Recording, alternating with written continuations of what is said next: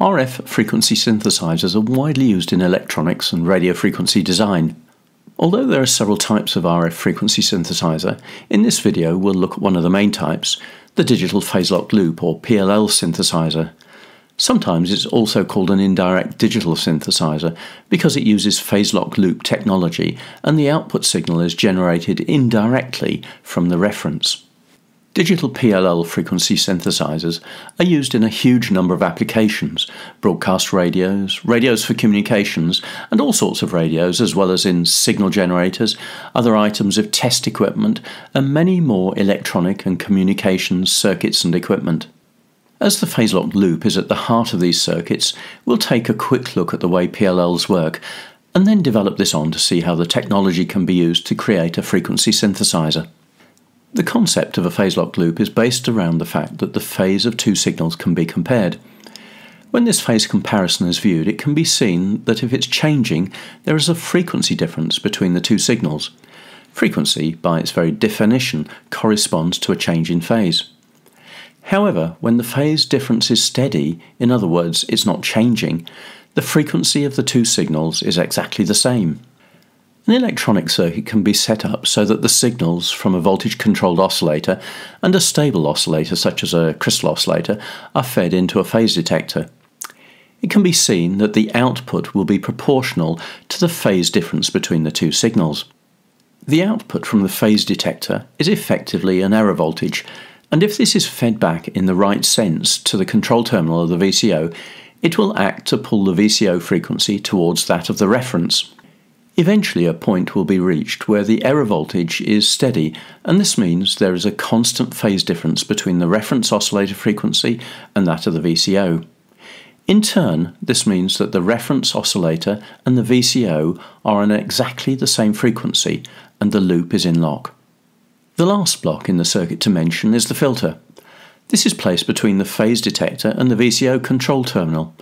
It's a really essential part of the loop and it provides many functions, including filtering out unwanted elements of the reference frequency signal, controlling the phase noise characteristics of the loop, and being a major element in determining the loop stability and its agility. To summarise, we've seen that the loop fights to reduce the phase difference seen at the inputs to the phase detector changing the frequency of the VCO so that the phase difference reduces to a constant level, where the VCO is running on exactly the same frequency as the phase comparison frequency, which in this case is the same as that of the reference oscillator.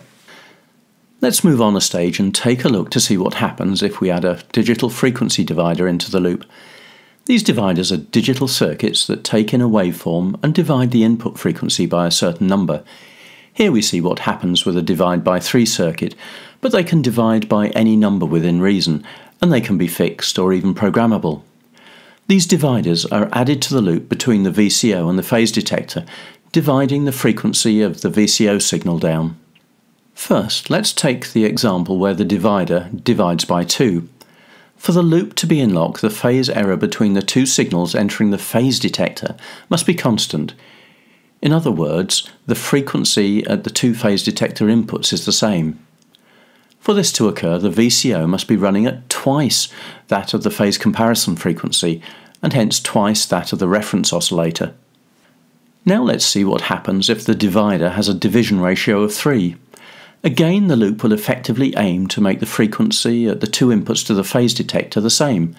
For this to be true, the VCO must be operating at three times the phase comparison frequency. So we can see that by changing the division ratio, the VCO can be made to run at different multiples of the phase comparison frequency. The step frequency is equal to that of the phase comparison frequency. If this frequency divider is made to be programmable, then it can be controlled by a processor or some form of digital circuit and the frequency of the synthesizer can be changed as required. Normally, the reference oscillator will be crystal controlled so that it's very stable. Typically, it may run at a frequency of, say, 1 MHz or 5 MHz. For most radio communication systems, though, where a synthesizer will be used, a much smaller step size is needed.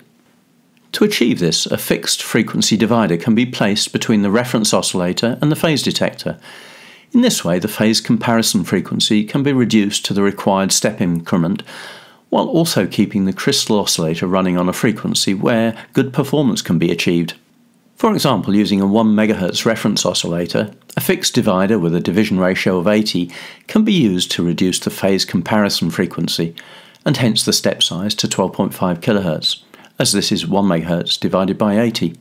It's then possible to use a programmable divider with a division ratio that extends from 11,520 to 11,680 to enable the VCO to run between 144 and 146 MHz. And this is the basic principle of the digital PLL or phased locked loop frequency synthesizer. For more information, please head over to the description and don't forget to subscribe to our channel and like the video please.